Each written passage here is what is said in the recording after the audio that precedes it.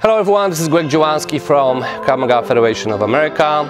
Today I'm here with instructor Eugene. We're at the Performance Krav Maga Turner, of Turnersville. And uh, we're going to show you how to defend against uh, choke from the back, but also with uh, a push. Okay? Follow us.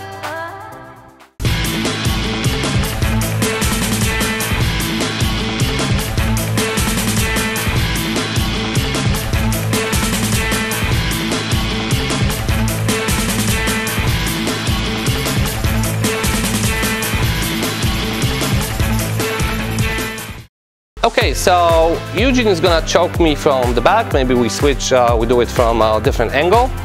So he chokes, and, but he also pushes. So I have to stabilize myself first and put my arm up. Now I'm gonna turn my whole chest, turn my body. I come down, trap his hand and punch, trap it again, punch, kick to the groin and take him down. One more time. One, two, three, four. Get ready for the cavalier. Kick to the groin. Taisa back in cavalier takedown. And he's down. Show it to you one more time a little faster.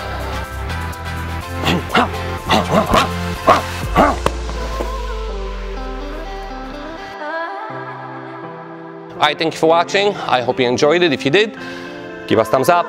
Please subscribe to our channel. We're posting videos weekly. And remember, be safe. Kida.